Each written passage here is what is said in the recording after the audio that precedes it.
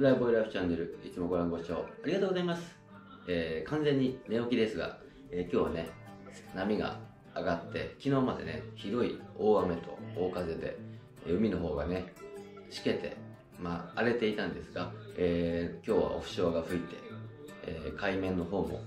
クリーンな状態で、茨城エリア、結構広範囲でね、波のコンディションが整ってるっていうことなので、えー海に行ってサーフィン動画久しぶりですね。これもう多分13日ぶりぐらいの、えーサーフィンになりますので、まあ、調子はどうかわかんないんですがえー海に入って、えーサーフィンしていきたいと思います。長男坊レオくんおはよう。おはよフライボーイライフチャンネル見てるみんなにご挨拶してください。うおはようございます。はい何を見てるんですか？YouTube 着替えて海に向かいたいと思います。レッツサーフは？Let's surf Let's go Let's go 浜優さんみたいだね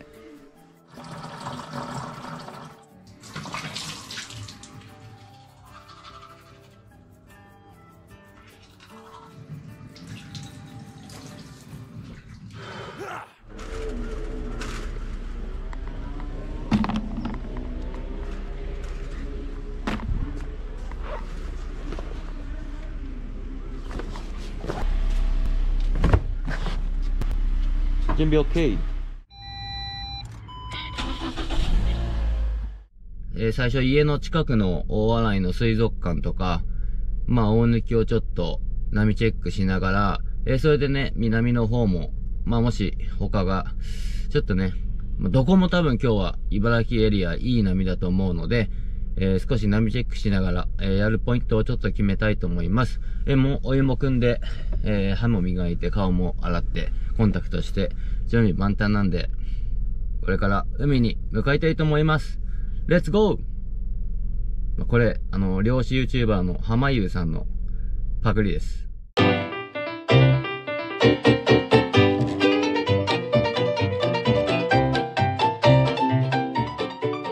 えとりあえず、大洗の水族館前のポイントに到着したんで、波チェックしていきましょう。うん、ちょっとまとまりないですかね、まだ。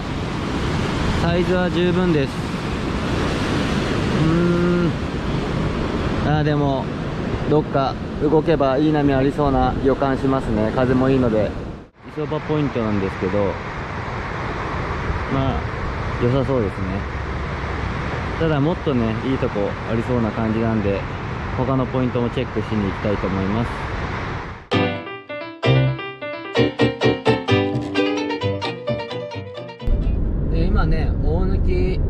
ポイント海の子鶴亀刀剣した、えー見たんですけど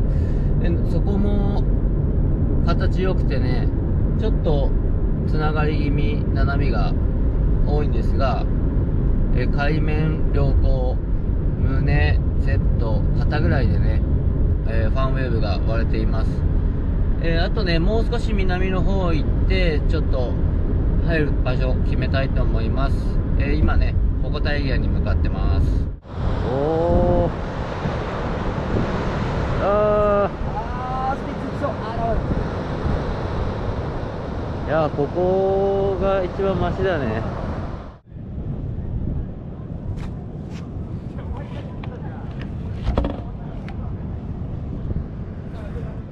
ほ鉾田エリアのちょうど中心部ですかねここは胸肩頭ちょっとね沖が遠くてアウトの波はそんなに良くないんですがミドルからテイクオフできるとたまに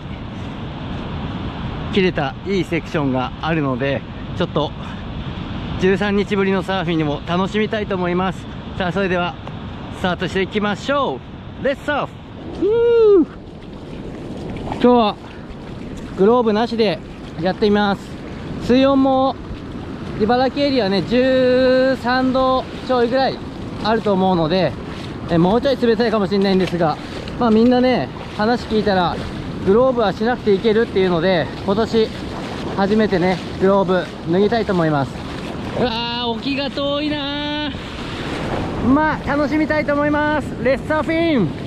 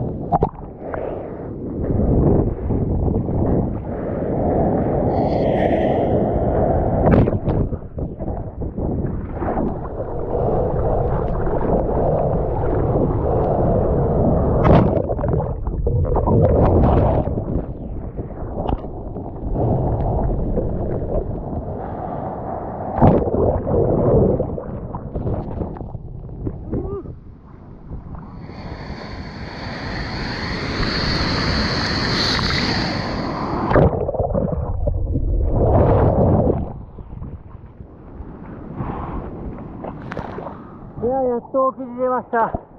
多分15回ぐらい、そういう風にして、疲れましても。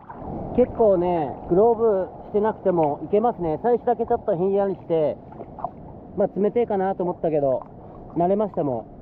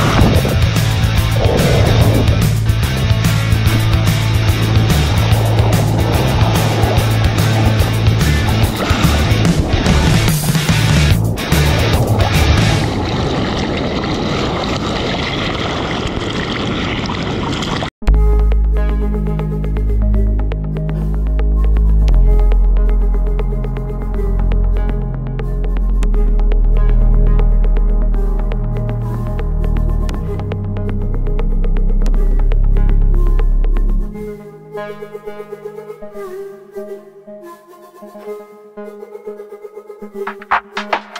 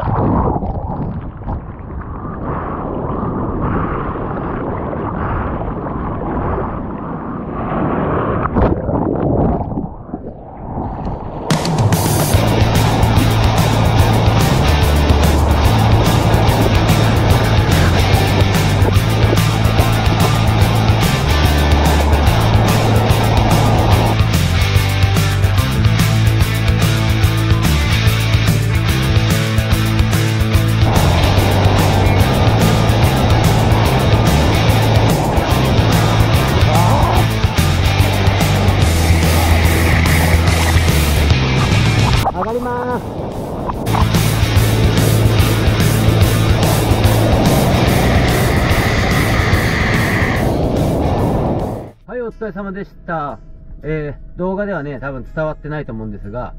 一本の波と次の波乗る間のパドリングの時間、約ね、15分ぐらい、ずっと流れがきつくて、パドリングして、やっと